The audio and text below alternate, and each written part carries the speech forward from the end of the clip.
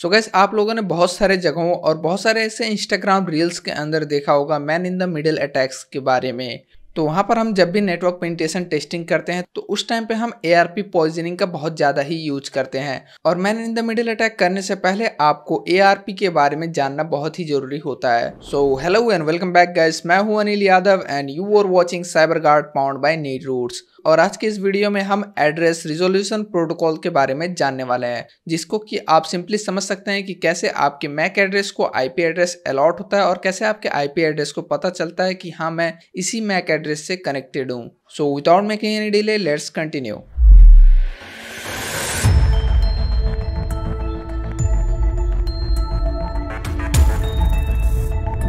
सबसे पहले हम देखते हैं व्हाट इज़ ए मतलब address resolution protocol it is a network protocol use to map an IP address to a physical MAC address in a local area network this is necessary for the transmission of data packets over the network तो basically जो ARP है, वो एक तरह का protocol है जो कि क्या करता है कि आईपी एड्रेस और मैक एड्रेस को एक दूसरे से कनेक्ट करता है लोकल एरिया नेटवर्क के अंदर, जिससे कि डेटा पैकेट ट्रांसमिशन किया जाता है। और अभी हम जानते हैं कि आखिर ये कैसे काम करता है। तो हमारे पास यहाँ पर थ्री स्टेप्स आते हैं। सबसे पहले आता है हमारा रिक्वेस्ट इसके अंदर क्या होता है कि जो डिवाइस होता है, वो कम्युनिकेट करता है दूसरे डिवाइस से, जो कि सेम नेटवर्क में कनेक्टेड होते हैं। तो यहाँ पर जब कम्युनिकेशन बिल्ड होता है तो जो ब्रॉडकास्टर होता है, वो ए पी पैकेट्स को रिक्वेस्ट के फॉर्म में सेंड करता है और वहाँ पर पूछता है कि आखिर ये आईपी एड्रेस किस मैक एड्रेस से कनेक्टेड है। और उसके बाद आता है हमारा रेस्पॉन्स रेस्पॉन्स क्या करता है कि ये बताता है कि हाँ यही मैक एड्रेस हमारे इस आईपी एड्रेस के साथ कनेक्टेड कनेक्टेड है, उसके बाद मैपिंग आता है। मैपिंग क्या करता है कि वो मैक एड्रेस को यूज़ करता है डेटा पैकेट्स को शेयर करने में। सिंपली आप समझ सकते हैं कि अगर आप अपने डिवाइस से दूसरे डिवाइस के अंदर कुछ डेटा को शेयर कर रहे हैं तो वहाँ पर आप जब इंटरनेट का यूज़ करते हैं तो वहाँ पर यूज़ में आता है आईपी एड्रेस लेकिन उस आईपी एड्रेस को कैसे पता चलेगा कि हम कौन से डिवाइस के अंदर शेयर कर रहे हैं? क्योंकि वहाँ पर उसे भी पता होना चाहिए कि हम कौन से मैक एड्रेस के साथ कनेक्टेड है। तो वहाँ पर हमारे यूज़ में आता है एआरपी प्रोटोकॉल और यहाँ पर आप एग्ज़ाम्पल के अंदर भी इसको सिंपली समझ सकते हैं। सिंपली आपके पास एक कंप्यूटर है, जिसका आईपी एड्रेस है 192.168.1.2 और इसको सेंड करना है दूसरे कंप्यूटर के अंदर, जिसका आईपी एड्रेस है 192.168.1.3 तो ये क्या करेगा कि एक एआरपी रिक्वेस्ट सेंड करेगा उस नेटवर्क के अंदर, जिससे कि क्या होगा कि हमारा जो दूसरा कंप्यूटर है, उसका आईपी एड्रेस रेस्पॉन्ड करेगा कि हाँ मेरे पास ये डिवाइसेस कनेक्टेड है मतलब हमारे पास ये मैक एड्रेस एडेड है और उसी के बाद यहाँ पर कम्युनिकेशन बिल्ट होता है और डेटा पैकेट्स एक दूसरे से शेयर किए जाते हैं। और इसी तरह से हमारे पास एक और प्रोटोकॉल आता है, जिसको कि हम बोलते हैं रिवर्स एड्रेस रिजोल्यूशन प्रोटोकॉल। ये सिंपली उसका रिवर्स है मतलब जो एआरपी था, उसका ये ठीक ऑपोजिट वर्जन है। ये क्या करता है कि जो मैक एड्रेस होते हैं, उनको एक आईपी एड्रेस मैप करने में हेल्प करता है। और इसका आप डेफिनेशन भी देख सकते हैं it is use to map a known MAC address to an IP address और इसका जो यूज़ होता है, वो बेसिकली डिस्कलेस वर्क स्टेशन में होता है। मतलब जिस डिवाइस के अंदर डिस्क नहीं होता है, वहाँ पर इसको यूज़ किया जाता है, जिससे कि डिवाइस को समझ में आए कि आखिर उनके पास आईपी एड्रेस कौन सी है और वहाँ पर कम्युनिकेशन बिल्ट हो सके। और इसके अंदर भी हमारे पास दो पॉइंट आते हैं, जिसकी मदद से ये वर्क करता है। सबसे पहले आता है हमारा रिक्वेस्ट जिसके अंदर क्या होता है कि जो डिवाइस होता है, वो एक तरह से R A R P request send करता है R A R P server के ऊपर। और वहाँ पर जैसे रिक्वेस्ट जाता है, उसके बाद जो हमारा सेकेंड पॉइंट है रेस्पॉन्स वो क्या करता है? R A R P server से जो मैक एड्रेस है, उसको कनेक्ट कर देता है और फिर यहाँ से कम्युनिकेशन बिल्ड हो पाती है। और इसके एग्ज़ाम्पल में भी आप समझ सकते हैं। A diskless workstation with MAC address dot dot dot sends the RARP server response with the IP address assigned to that MAC address. मतलब सिंपल सी बात है, एक हमारे पास डिस्कलेस वर्क स्टेशन है, जिसके पास आप ये मैक एड्रेस दे सकते हैं। ये क्या करता है कि एक तरह से आरएआरपी रिक्वेस्ट सेंड करता है आरएआरपी सर्वर के पास।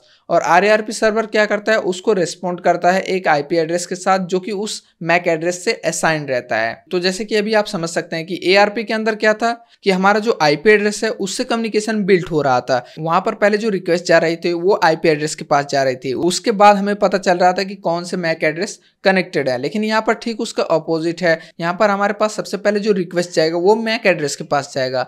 और मैक एड्रेस बताएगा कि कौन से आईपी एड्रेस पे वो कनेक्टेड है, जिससे कि वहाँ पर कम्युनिकेशन बिल्ट हो पाएगी। और इसी तरह से हमारे पास आ जाते हैं प्रॉक्सी ए तो प्रॉक्सी एआरपी क्या करता है कि जैसे कि अभी तक हम एआरपी और आरएआरपी के बारे में जान रहे थे, वो सिर्फ़ लोकल एरिया नेटवर्क के अंदर होता है। लेकिन प्रॉक्सी एआरपी क्या करता है कि जो वाइड एरिया नेटवर्क होता है और डिफरेंट डिफरेंट जो नेटवर्क्स होते हैं, उनके बीच में कम्युनिकेशन को बिल्ड कराता है। इसका आप एग्ज़ाम्पल भी देख सकते हैं। Proxy ARP allows a router to respond to ARP request on behalf of another device. This enables devices on different networks to communicate as if they were on the same local network. और उसके बाद आप देख सकते हैं कि आखिर ये काम कैसे करता है। इसके अंदर हमारे पास तीन पॉइंट आते हैं। सबसे पहले आता है हमारा रिक्वेस्ट और उसके बाद फिर आता है हमारा रेस्पॉन्स और फिर राउटिंग तो रिक्वेस्ट के अंदर क्या होता है कि एक डिवाइस एआरपी रिक्वेस्ट सेंड करता है आईपी एड्रेस के ऊपर, जो कि दूसरे नेटवर्क के अंदर कनेक्टेड है। और उसके बाद जो रेस्पॉन्स है, जो कि हमारे नेटवर्क के अंदर कनेक्टेड है, वो क्या करता है कि उस रिक्वेस्ट को एक्सेप्ट करता है और उसको रेस्पॉन्ड करता है अपने मैक एड्रेस से, जिससे कि यहाँ पर प्रॉक्सी चेन क्रिएट होता है और दोनों के बीच में कम्युनिकेशन बिल्ट होती है। और फिर आता है हमारे पास राउटिंग तो राउटिंग क्या करता है कि जो डेटा पैकेट्स हैं, जब कनेक्शन बिल्ट हो जाता है तो वहाँ से डेटा पैकेट्स को शेयर करता है। और यहाँ पर आप इसके एग्ज़ाम्पल में भी देख सकते हैं, जो कि है हमारा डिवाइस ए कनेक्टेड है नेटवर्क वन के साथ, जो कम्युनिकेट करना चाहता है डिवाइस बी के साथ, जो कि नेटवर्क टू में कनेक्टेड है। kayak तो यहाँ पर डिवाइस क्या करेगा? एक एआरपी रिक्वेस्ट सेंड करेगा डिवाइस बी के लिए उसके आईपी एड्रेस के ऊपर, जो कि दूसरे नेटवर्क में कनेक्टेड है। और फिर जो राउटर है वो क्या करेगा?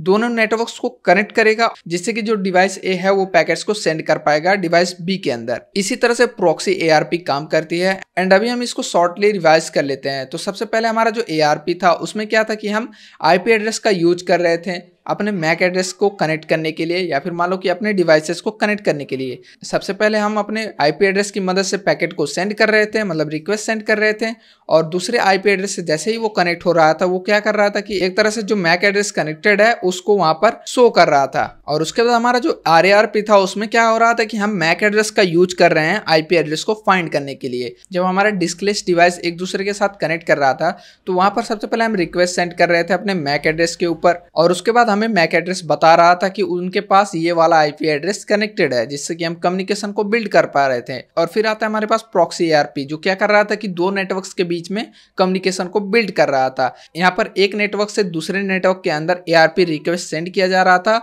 और वहाँ पर कम्युनिकेशन को बिल्ड किया जा रहा था। सो आई होप कि अभी तक आप लोगों को समझ में आ गया होगा कि आखिर ए क्या है आर क्या है और प्रॉक्सी ए क्या है। और अगर आपको ये चीज़ें समझ में आ गई होंगी तो आगे मैं एम का प्रैक्टिकल वीडियो लाने वाला हूँ। उस चीज़ को भी आप अच्छे से समझ पाएँगे। सो अब मिलते हैं अगले सेशन में। तब तक के लिए stay safe, stay secure. Thank you and happy networking.